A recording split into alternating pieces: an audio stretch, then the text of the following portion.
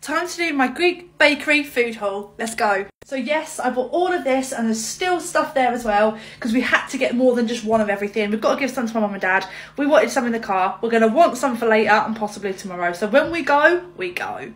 Let's start with the pies. So we've got the four main pies and I'm going to tell you what they are and I'm going to tell you how they taste. Starting with the classic tiropita, which is a cheese pie. It's just layers of usually mazithra and feta, but I think this one's just feta.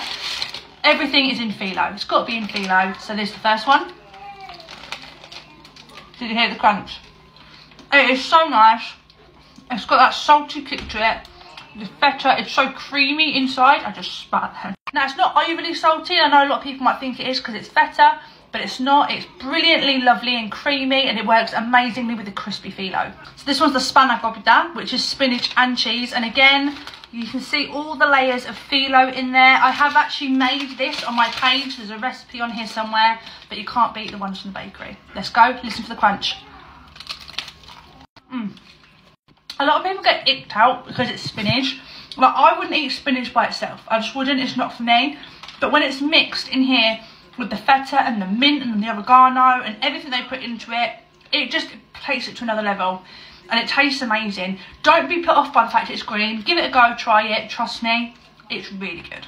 This one's the kotopita, which is a chicken pie. Now, this will vary from bakery to bakery. Everyone will have a different recipe for it. The same with all the pies. Everyone will have a slightly different recipe. This one's reddish inside, which I'm guessing is from red peppers and maybe paprika. Let's try it. This one you can tell it's a Choriatica one, which is a village one, because it's full of vegetables as well. I can taste the leeks, the peppers, onions. I can taste the paprika. It's got feta in here as well. It is just so full of flavour. It is it's more flavourful than the others because this one's got so many more aspects to it. And again, crunchy phyllo. Now this one is just the VIP. This one is a bougatsa, which is basically like a vanilla custard inside of a flaky pastry, and it usually has cinnamon powder sugar on top. Obviously, when it's been in the bag, it's rubbed off. When you get it fresh from the bakery, and when it's slightly warm, it's amazing.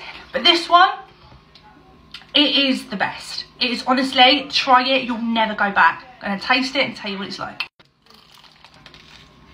Oh, it is just got such a almondy vanilla kick with the silky smooth custard on the inside. It is a must try.